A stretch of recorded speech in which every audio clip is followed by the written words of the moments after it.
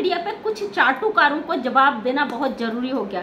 भगोड़े ने पाकिस्तान से आने के बाद कुछ ऐसे पागल कुत्तों को छोड़ दिया कि जो भौंकने का बिल्कुल बंद नहीं कर रहे भौंकना। उनको ऐसी खुजली लग गई है, पागल हो गए हैं। जब से भगोड़ी के ऊपर इतने सारे एक्शन हुए हैं, भगोड़ी के सारे कारनामों को एक एक कर हम खोल कर यहाँ ला रहे हैं, उनको ऐसा पागलपन छा गया है कि अब वो बौखला चुके हैं। और वो बिल्कुल पागलपन में उतर चुके हैं। आज जवाब दूँगी उन सबको, क्योंकि भैया लाइव नहीं आ पा रही हूँ। समय नहीं मिलने के कारण मैं बहुत बिज़ी हूँ और इसलिए लाइव आके आपका आमने सामने जवाब नहीं दे पा रही हूँ। आपके सवाल कहते ना, पानी सर से ऊपर चला जाता है। तो सर से ऊपर जा चुके हैं तो जवाब देना बहुत ज़रूरी बनता है वीडियो के माध्यम से। आप लोगों को जवाब दे रही हूँ। भगौड़ी के चाटुकार आज पूरे वीडियो देखना और वो भी जो सीमा हैदर को सपोर्ट करते हैं और जो उसका विरोध करते हैं, आप दोनों के लिए वीडियो है। और आज आपको मैं सारी चीज़ों का क्लियरिटी से जवाब दूँगी, क्योंकि आपके जो सवाल हैं हद से ज़्यादा आगे बढ़ चुके हैं। सबसे पहले बात करते हैं मोविन मलिक सर की। जो इस केस को बहुत अच्छी तरीके से अब सिमेट कर रास्ते पे ला चुके हैं और क्यों नहीं लाइव आ रहे हैं, आपको शायद पता चल भी चुका होगा, लेकिन फिर भी बता देती हूँ, मोबिन मलिक सर की तबीयत खराब चल रही है। उनके गले में थोड़ा खराश या इन्फेक्शन टाइप का हो रखा है डॉक्टर ने मना किया बोलने के लिए और या लाइव आने के लिए। वैसे भी मोबिन मलिक सर एक वकील हैं और अपने कानूनी पॉइंट्स को वो अदालत में रखते हैं। वो बार बार सोशल मीडिया पे इसलिए आते हैं क्योंकि हम लोग फोर्स करते हैं। हम कहते हैं, सर, क्या अपडेट है? आप दीजिए दीजिए दीजिए पब्लिक के सामने। क्योंकि हम तो फ़ोन से फिर भी पता कर लेते हैं और वो अपडेट दे देते हैं आप तक। आप लोगों को बहुत उत्सुकता रहती है, इसलिए हम रिक्वेस्ट करते सर, आप लाइव आए सर लाइव आके वो अपडेट देते हैं। फ़िलहाल, सर रेस्ट कर रहे और कानूनी लड़ाई तेज़ी से वो अंदर खाने लड़ रहे हैं। और दूसरी बात, जो लोग यहाँ पे आके बोलते हैं, कुछ नहीं कर रहे हैं। तो आपका हम भी कुछ नहीं कर सकते भाई। क्यों? जब आपको बिल्कुल भी धैर्य नहीं है तो आप ऐसे ऐसे ऐसे सवाल करते हो कि उनके जवाब हमारे पास नहीं होते। हम, आप केवल वीडियो देखते हो, मैं राय कमेंट में देते हो, क्योंकि आप ही असली खिलाड़ी हो, आप ही असली बातों को रख रहे हो। क्योंकि अगर आप कमेंट्स करके आप चीज़ों को आगे तक नहीं बढ़ाते तो शायद हमारी बात आगे तक नहीं पहुँचती। लेकिन हम आप तक अपडेट पहुँचाने के लिए एक एक चीज़ पर सर्च करते हैं, जानकारियाँ लाते हैं, इधर, उधर से तमाम चीज़ों से लीगल इन्फॉर्मेशन लाते हैं सच को आपके आगे वीडियो के माध्यम से रखते हैं, क्योंकि हम भी जानते हैं सोशल मीडिया प्लेटफॉर्म और यू फेक न्यूज़ हम यहाँ पे नहीं दे सकते। मुझे कई लोगों ने बोला है कि ये झूठ बोलती है, झूठ बोलती है। मैं जानती हूँ, सीमा हैदर के सपोर्टर हैं, वो ज़ाहिर सी बात है, ये चीज़ कहेंगे ही कहेंगे। और कई लोगों ने कहा कि आप हमारा टाइम वेस्ट कर रही हो, एक ही चीज़ बोल बोल के हमें पका रही हो। तो भैया, आपसे हाथ जोड़ के रिक्वेस्ट करती हूँ, आप अपना टाइम मिसयूज मत करें, अपने समय का उपयोग करें। क्योंकि हम आपके कहे अनुसार काम नहीं करते, हम अपने अनुसार करते हैं और जो चीज़ें सच होती है, उसको यहाँ तक आप तक लाते हैं। आप यकीन मानो ना मानो, क्योंकि बात सच होती है। आप अपने जजमेंट दे सकते हो, लेकिन किसी को गंदे और अश्लील कमेंट्स नहीं कर सकते हो। और भगौड़े के कुछ चाहने वालों की अब वाट लग चुकी है, उन लोगों ने अपनी सीमाएँ पार कर दी। क्यों चिंता करते हो? आपका सारा बायोडाटा गया हुआ है। बैठो, थोड़ी देर आराम करो, अश्लील कमेंट मत करो, गंदगी मत उगलो, क्योंकि सबका हिसाब माननीय अदालत में देना पड़ेगा। आपकी भाभी है ना, आप सपोर्ट करो। हमने नहीं कहा कभी भी आप उसको सपोर्ट मत करो करो। अदालतों में जवाब दो, जो गंदगी मचा रहा है, जो कहता है कि हम लोग गलत बोल रहे, झूठ बोल रहे, हम जेल जाएँगे तो आपके कहे अनुसार नहीं चलते, हम अपने अनुसार चलते हैं और सच के साथ चलते हैं। आपकी मर्ज़ी अदालत तुम हमारे खिलाफ केस करो, लड़ाई झगड़े करो, फसाद करो, जो करना वहाँ करो। क्योंकि हमें आपका ये यहाँ जवाब सुनने, आपकी राय लेने नहीं बैठे हम अपना काम करने बैठे हमारा एक ही लक्ष्य है, जो इनलीगल घुसकर हमारे देश में बैठी है, सीमा हैदर। उसको उठाकर बाहर फेंकना और दूसरा गुलाम हैदर को उसके बच्चे मिले। पाकिस्तानी सिटीजन है, उसने भारत सरकार से, भारत के लोगों से, भारत के भाई बहनों से हाथ जोड़कर रिक्वेस्ट की है कि उसके बच्चे उसे दिला दिए जाए। और जो सच है वो सामने आए। कई चीज़ें आ रही हैं उठकर, किस, जिस तरीके से सीमा हैदर बिहेवियर कर रही बच्चे उसके है या नहीं। या जो भी हो रहा है, उसमें सीमा हैदर की क्या भूमिका है, भारत में आके ये क्या करना चाहती है? आखिर इसका लक्ष्य क्या है? इस चीज़ को खोजने के लिए हम रात दिन चीज़ों को इकट्ठा करके आपके समक्ष लाते हैं। आप सारा गुड़ गोबर कर देते हो। आप कहते हो हम आपके मुताबिक चले। सच को लाए, सच को लाए। सच भैया यही है कि एक इलीगल घुसकर औरत आई है और उसके लिए हमें रोज बात रखनी है। बात एक ही हो या अनेक हो? लेकिन बात सीमा हैदर की होती है, बात गुलाम हैदर की होती है मेरे चैनल पे। फालतू के बकवास आप लोग करते हो, जिन्हें धैर्य नहीं है, जिन्हें संयम नहीं है, जो हमेशा उत्सुकता में रहते हो। कानून है, कानून अपने मुताबिक काम करता है। मेरी वीडियो उठा के देखिए आप, पहले दिन से एक ही चीज़ बोला कि हमें अपने देश के कानून पर भरोसा है। उसके अलावा हम किसी और तथ्य पर बात नहीं करते। और हमें पता है, हम सच बोल रहे हैं, हम गलत का साथ नहीं देते हैं तो हम एक ही चीज़ यहाँ पे बोलते हो कि अपनी आवाज़ को बुलंद रखना, गुलाम हैदर तक उसके बच्चों को पहुंचाना हमारा लक्ष्य है। और जो ये महिला सोशल मीडिया में बैठ के गंदगी की दुकान खोल के बैठी है, और जो ये गंद बचा रही है अपने से आधी उम्र के लड़के के साथ, जो अश्लील हरकतें लाइव में बैठ के करती है, अपनी बच्चियों का ध्यान नहीं देती है तरह तरह की चीज़ें आपको दिख रही है। इसकी बच्चियों की कैसी बर्बादी हो रही है, इसके बच्चों की कैसी बेइज्जती हो रही है भारत में, इस औरत को कोई फ़र्क नहीं पड़ता। फ़िलहाल, दो दिनों से सीमा हैदर औकात में आई हुई, आपने देखा होगा, इसकी जो गाली गलौज और जो ये ट्रोलिंग कर रही थी और जो छिपकली साथ में ट्रोलिंग कर रही थी, उसका कारण है कि सीमा हैदर को कल भी मार पड़ी है। इसकी कुटाई हुई है ढंग से। इसका जो टीवी लगा हुआ सामने आप आज इसका रील उठा के देखना, उसमें इसने कपड़े से कवर किया हुआ है। क्योंकि वो टीवी में पत्थर मार के फोड़ा गया है। इसको मार कुटाई में घर की बहुत सारी चीज़ें टूटती हैं। साथ में एलईडी जो लगा हुआ है इसके घर पे, वो टूटा हुआ है, इस पर स्क्रैच आया हुआ है। और क्योंकि इसने जो अश्लीलता की, उसके कारण यूट्यूब ने इसका वीडियो रिमूव कर दिया और इसको स्ट्रैक दे रखी है। लोग कहते हैं ना, इतने गंदे, गाली, गलौज अपशब्दों का इस्तेमाल करती है। तो यूट्यूब पे उस पर बैन लगा दिया और इस कारण इसके घर में मार कुटाई हुई है। जो छिपकली अंजलि बदतमीजी कर रही थी, वो भी इसके चैनल पे दो दिनों से नहीं आ रही है। क्योंकि वो इतनी हद तक जा चुकी थी, वो महिला रुकने का नाम नहीं ले रही थी।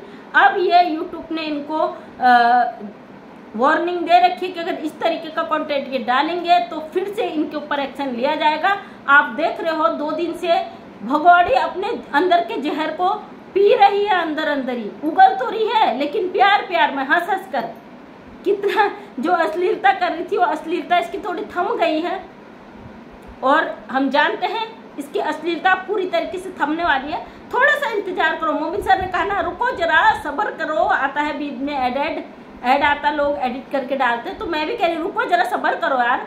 भारत के लोग हो, भारत में इनलीगल औरत घुस के आ गए, आपको लगता है कि आलू, टमाटर, प्याज, बैगन की तरह उठा के इसको फेंक दें? भाव गिर गए, उठा के फेंक दो, सड़ गए तो उठा के फेंक दो। अरे, ये सीमा हैदर है। चार बच्चों के साथ आई थोड़ा सा सबर करो। औरत है, इंसान है, जान है उसके अंदर। उसके साथ चार बच्चे हैं, गुलाम हैदर को तो आने दो। अगस्त तक का तो वेट करो। लास्ट अगस्त में गुलाम हैदर आ रहा है भाई। नहीं भी आएगा तो मोबिन सर ने कहा है कि मैं जाकर खुद गुलाम हैदर को लेकर आऊँगा। क्यों आप इत, इतना डिमोटिवेट हो जाते हो इतना टूट जाते हो इतना थक जाते हो? आप कहते हो कि एक ही बात सुन सुन के हम पक गए आपकी वीडियो देख के पक गए तो मत देखे वीडियो भाई। आपके लिए वीडियो नहीं बनाती हूँ पकाने के लिए वीडियो नहीं बनाती हूँ। सच को सामने लाने के लिए वीडियो बनाती हूँ अपने देश से इनलीगल औरत को फेंकने के लिए वीडियो बनाती हूँ। और इसलिए बनाती हूँ, आगे तक बात पहुँचे। इसलिए बनाती हूँ, गुलाम हैदर को इंसाफ मिले।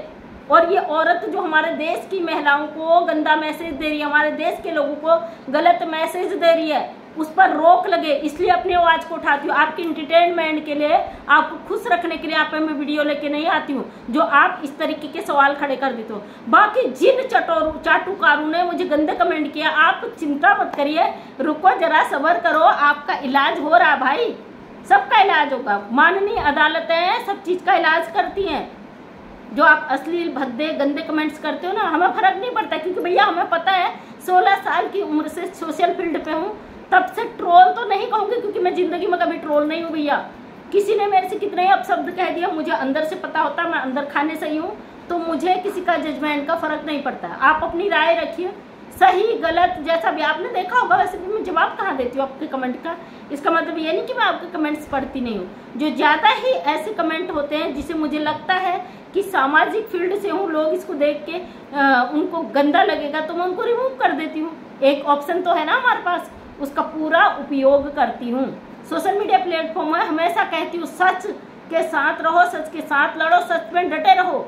मानती हूँ बहुत सारी प्रॉब्लम्स आती है। सच्चाई को दबाने के लिए लोग आपके गले तक चढ़ जाएँगे, आपके सिर पे बैठ जाएँगे, आपकी नस नस को तोड़ने की कोशिश करेंगे, आपको मरोड़ने की कोशिश करेंगे। जैसा कि इसी सीमा हैदर केस में हो रहा है। ये कह रही मेरे ऊपर बड़े बड़े लोगों का हाथ है। इसने राजनाथ सिंह उनके बेटे का नाम लिया है। अब बात यह आती है, भैया, जाँच का विषय है। ये एक तरीके से और फंस चुकी है। राजनाथ सिंह के बेटे का हाथ, भैया, इसके सर पे है। अगर सीमा अगर तुझे पता नहीं, जरा सा भी तेरे ऊपर वो हो गया ना तो तो गई बेटा, गई गई। तू करती जा अश्लीलता, हम तेरी अश्लीलता का पर्दाफाश करते रहेंगे।